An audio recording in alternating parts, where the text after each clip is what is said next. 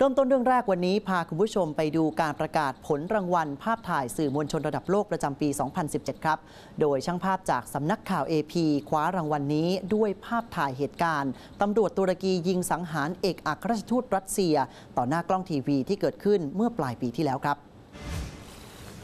ภาพตำรวจตุรกีที่ชูมือขึ้นหลังลั่นไกสังหาร โดยมีศพอังเดรคาลอฟเอกอัครราชทูตรัสเซียประจำตุรกีบนพื้น ในงานนิทรรศการภาพถ่ายที่กรุงอังการาของตุรกี เมื่อวันที่ 19 ธันวาคมที่ผ่านมานะครับ เป็นผลงานของเบอร์ฮันออสบิลิชีช่างภาพของสำนักข่าว AP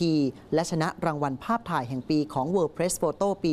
2017 ที่ประกาศผลในกรุงอัมสเตอร์ดัมของเนเธอร์แลนด์เมื่อวันอาทิตย์ออสบิลิชีเล่าถึงนาทีสะเทือนขวัญนะครับว่าตอนแรกรู้สึกร้อนมากเหมือนน้ำเดือดปุดๆในหัว ก่อนจะเย็นเฉียบ แต่ก็รู้ว่านี่เป็นประวัติศาสตร์ครั้งใหญ่ และมีความสำคัญมาก และรู้สึกเศร้าเสียใจกับชายผู้บริสุทธิ์ครับภาพถ่ายของออสบิลิชีเป็นส่วนหนึ่งในประมวลภาพถ่ายชุดลอบสังหารในตุรกี ซึ่งคว้ารางวัลในประเภทภาพข่าวด่วนด้วยนะครับ ในชุดนี้มีทั้งภาพก่อนและหลังการยิงสังหาร สจวตแฟรงกลินประธานคณะกรรมการตัดสินชื่นชมนะครับว่าเบอร์ฮานมีความกล้าหาญอย่างเหลือเชื่อ และสามารถอยู่ในจุดที่ทำให้รูปถ่าย มีองค์ประกอบที่ดีเยี่ยม และเป็นภาพข่าวด่วนที่ดีเยี่ยมด้วย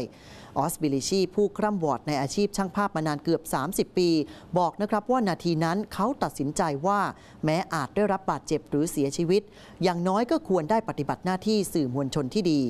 ปีนี้มีภาพถ่ายเข้าร่วมประกวด 8408ภาพจากฝีมือของช่างภาพ 5,034 คนจาก 125 ประเทศนะครับและคณะกรรมการมอบรางวัลใน 8 สาขาให้กับช่างภาพ 45 คนจาก 25 ประเทศ และหลายภาพที่คว้ารางวัลล้วนเป็นภาพข่าวสำคัญของปีที่แล้ว เช่น สงครามในซีเรียและอิรัก วิกฤตผู้อพยพ ข่าวการอสัญญกรรมของฟิเดลคาสโตร อดีตผู้นำคิวบา